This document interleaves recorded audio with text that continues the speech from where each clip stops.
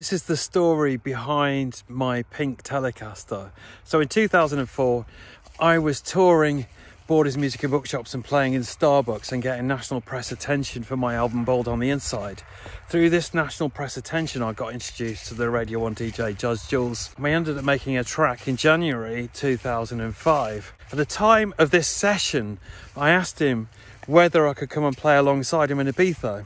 And he said, Yeah, sure, let me know what date. So I just waited until the Radio 1 weekend date was announced, then asked for that date. And he just said, Yeah, sure, that's the Radio 1 weekend. Great, it's going to be fantastic. So I'm like, I'm going to have to up my game here.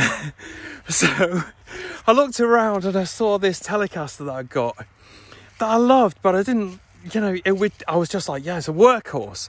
I'm going to take it to Sims Custom, which I've seen advertised, and I'm going to get this guitar customized. So I'll make up the spec, I'll take it to Sims Custom and get it painted sparkly pink. Originally, this guitar was a Fender USA Custom Deluxe in a beautiful cherry red sunburst, but I had it painted sparkly pink and had pinky purpley LEDs put in the fingerboard, which was the last set that they had in the workshop.